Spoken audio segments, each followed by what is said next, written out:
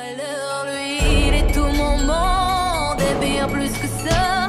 Seul je crie son nom quand vient le désarroi et puis tout s'effondre quand il n'est plus là. J'aimerais tellement lui dire, mais je n'ose